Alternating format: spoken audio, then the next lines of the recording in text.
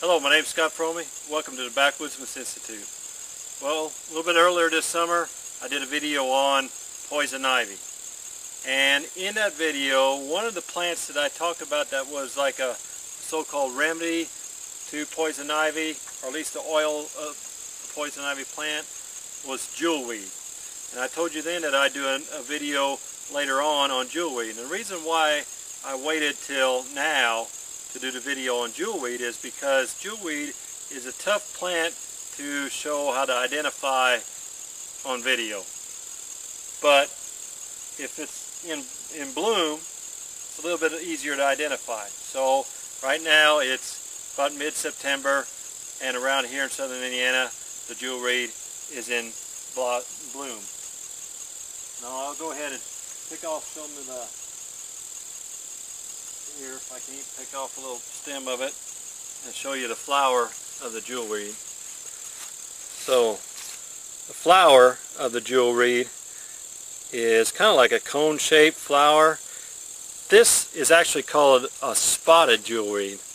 Now the reason it's spotted is because the, the flower itself, I don't know if I can pan in there close enough with a zoom, it's got like spots on the, on the flower itself. So the flower is orange and on the inside of the of the flower it's kind of a reddish color and it's got spots on it. So like I said now is when the time when you can go out there and you can identify the plant itself to with the blooms on and kind of follow it and learn what it looks like so that in the spring without the blossoms you know, like I said you, you already know the plant you can identify it easy enough.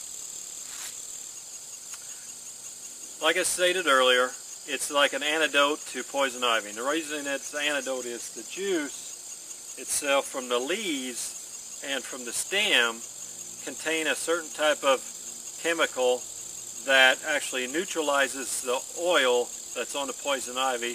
That's what makes it, you know, gives us the rash or gives it like the blisters on the skins of, of humans. So this juice neutralizes that. So if you can apply the juice within two to three days of getting it or right when you know you're getting it, you can pretty well, you know, like I said, neutralize the effect of that oil that's on the poison ivy. So that's why I feel, you know, as an outdoorsman or a hunter or any, if you're doing something like the, some of the plants that you absolutely should know how to identify is poison ivy and jewelweed. Because sooner or later you're going to contact with poison ivy and if you know you're in contact with it, at least there's a plant out there that's kind of like the remedy for it. The jewelweed is also part of the touch-me-not family of the flowers. So why does it get its name, touch-me-not? Well, I'll see if I can't find it. But it, the seed pod, here's like a seed pod right here. And this one's not right ripe yet. But once the seed pod gets to ripe and you just barely touch it, it kind of pops open and disperses its seeds that way. So that's why it's called touch me not. That's the way it, it's that's what it utilizes and how it disperses its seed. Here's a seed pod right here. Now in that seed pod, like I said, I'm not sure if it's ripe enough that it'll, it'll disperse out or not. But in that seed pod, there's several seeds in there, and see if I can't just see if I can get it to pop. Nope, it popped open. I don't know if you caught that or not, but you can see that right there is how it disperses the seed. And so once it's really ripe, this one probably would have popped another, you know, day or so, but it just kind of, there's about two, four, six, or eight seeds in there that here's a seed pod that's not quite ripe yet in here. But once it once you touch them, they'll go ahead and pop open, and that just disperses the seed, and that's why it's called a touch-me-not, and it's a member of the touch-me-not family. Now, where does it get its name? Actually, jewelweed. Well, the the plant itself, the leaves kind of shed water and and glisten when they get wet, and that's why the plant you know, is called jewelweed. That's how it gets its name.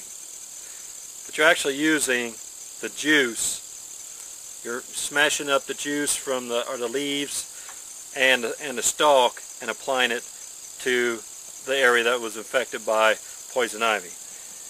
Now, you're saying, well, what if I get poison ivy in the wintertime? Well, one of the ways which a lot of people do is they'll go ahead and get a lot of the plant and crush it up and, and kind of crush it real good and then kind of freeze it like in ice cube trays so that in the wintertime, let's say you're cutting firewood or you're messing with poison ivy vines and you come down with poison ivy, you can go ahead in the ice box, pull you out a, a jewelweed ice cube and apply it to that area that was affected with uh, poison ivy. That's one way of doing it. Another way of doing it is some I've heard of people actually making like taking this and, and cooking in, in down in a, like a tea like thing and then freezing that tea and applying that tea onto the area that's been affected by poison ivy. So it's blooming now.